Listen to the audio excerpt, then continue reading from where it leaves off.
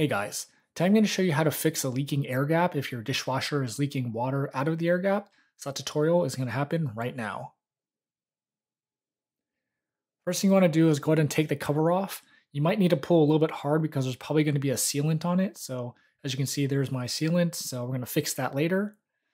Then what you want to do is take off this top piece. So it's held in by teeth on each side. So just push those in and you should be able to you know, pop the top uh, right out. So you know, I had to work it on one one one at a time, but it still works. There's the one side, there's the other side, and it should come out. And then basically what we want to do is we want to put basically we're going to use a coaxial cable and shove it down not the tube, but on the other part because that's the part that is linked to your garbage disposal that's clogged up and that's why the water is leak is coming out of the air gap. So that's the the tube that basically is connected to your garbage disposal, and that's where all the water comes out. Um, and basically, as you can see on mine, has a little kink too. So I'm going to show you what I need to do to fix it a little bit better than just the initial, you know, uh, kind of fix. So go ahead and get some coaxial cable and cut one of the ends off so you can fit it down the, the hole there. So you want to put it down there and then go ahead and, you know, you want to kind of agitate it back and forth a little bit. That way you can push out all the food particles and gunk that's stuck that's causing the water to back up.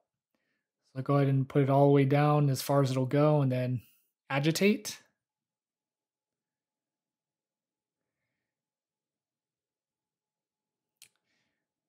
And once you've done that a couple times, then you can pull it out. And as you can see, uh, there's some gunk and it's kind of disgusting, disgusting. So sorry about that, but that's what's going to happen. And then basically what I'm going to do is I actually put the cable down the garbage disposal the other way and agitated it that way too. That way it really clears all the food particles and gunk that's stuck in there. So that way this doesn't happen for a while.